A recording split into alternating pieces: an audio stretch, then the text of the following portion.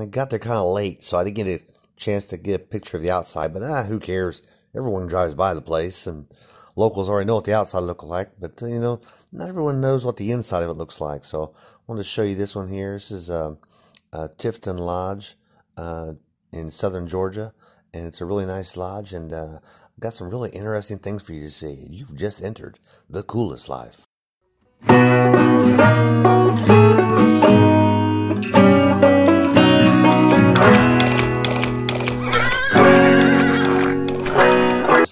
You'll see these pictures on the wall. And these pictures are uh, they're past masters, and they they try to have recent pictures. But as you can see, some of these are are really old, and some are actually still missing. Either they just never got a picture of them, or it got lost and may have gotten damaged through uh, leaks in the building or what have you. And, You know, because they'll they'll scatter them out around the room, and then as the line keeps getting longer and longer, they'll start putting up trays on the wall and and start mounting them side by side. Like this is pretty typical here most lodges have this. Some, like this one here, is in the dining room. Uh, a lot of them are in the dining room. Some are actually in the lodge room itself.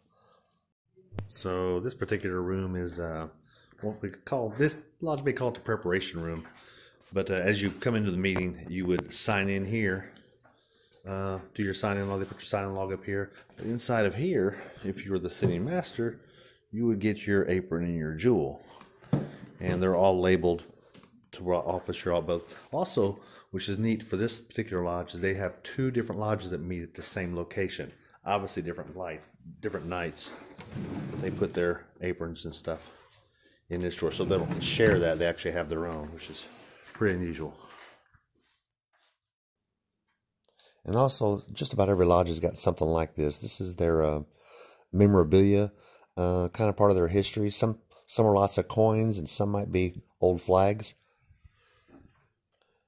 Sometimes there's things on the walls like uh, paintings, and there's uh, murals or uh, of some past members. And as you can see in some of these photos, uh, the walls are really different, like the walls here behind my head.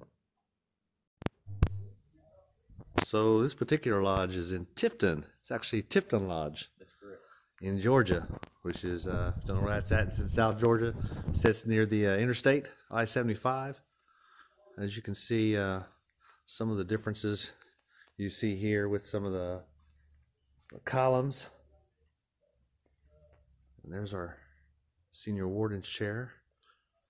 A little more ornate. This would be where our chaplain would sit in this particular lodge. Let's not forget our columns.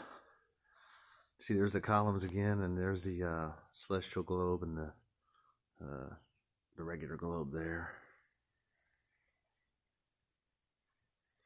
Of course, they would move those out if they did degree work. Uh, all lodges are, are a lot of different people use the lodge, maybe different orders. So that's why they would have a chair over here. Some will use that for their chaplain, or just depends on what the order is. This, of course, is their holy altar. You see it pretty customary in Georgia. You've got your three burning tapers where your lights around the sides.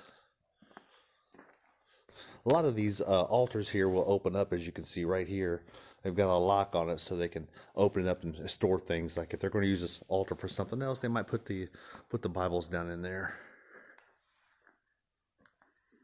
Of course, the symbolism again I mentioned before. We've sometimes they put the uh, they'll put this column over here to the center. Others will be here to the side. This is a great example. One here to the side. And why is this column standing? And why is that column there, right there? Why is that column laying down? There's a reason for that. You'd have to get involved in masonry to find out what's uh why why that's different. There's the old Georgia flag. And you have where your your master or your president of the lodge would sit, right up here. Very beautiful lodge. They've got a large kitchen that's about the size of this room. I would say this room is pretty standard as far as sizes go. Uh, other lodges, like we were at Columbian Lodge, was a little larger than this, but uh, this lodge here is uh, really nice. You can tell they, they really keep a, a good care of it, but their, their kitchen is about the same size as sitting area. They got plenty of room to have other brothers in here. So uh, if you get a chance, you're a Mason, come by for a meeting or other, some other order if they're having an event here. Uh, come by and see them here at uh, Tifton Lodge. Beautiful place. Uh, look over here. Here's something different. Not that the flag's anything different, but uh, they've got a piano in the corner.